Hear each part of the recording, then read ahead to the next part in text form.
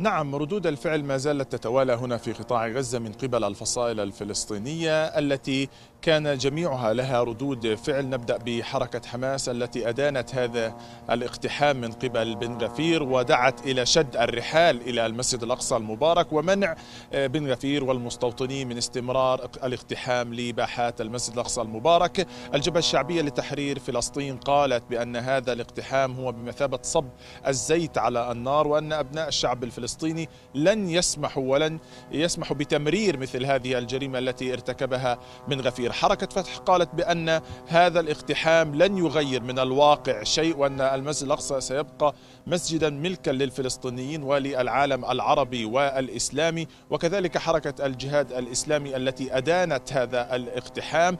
ومن جهتها الفصائل الفلسطينية ربما خلال الساعة القادمة ستعقد اجتماعا كما علمنا في قناة الغد. سيكون هناك اجتماع للفصائل الفلسطينية لتدارس هذه التطورات التي جرت في المسجد الأقصى ومن ثم الخروج ببيان صحفي مشترك لكافة الفصائل الفلسطينية حول ما جرى صبيحة هذا اليوم. فهناك حالة من الغضب الشعبي والجماهيري الكبير هنا في قطاع غزة سيما وأن خلال اليوم الماضي كان هناك تطمينات بأنه لن يكون هناك اقتحام للمسجد الأقصى بعد أن أجرت الفصائل الفلسطينية وبالتحديد حركة حماس أوصلت رسائل للجانب المصري كونه هو الراعي لاتفاق التهدئة بضرورة عدم السماح بمثل هذه الاستفزازات التي من شأنها أن تعيد التوتر الميداني الجديد في قطاع غزة. بالتزامن مع هذا الاقتحام هناك تحليق مكثف لطائرات الاستطلاع الإسرائيلية في كافة أجواء قطاع غزة وهذه الطائرات هي بمثابة نذير شؤم للفلسطينيين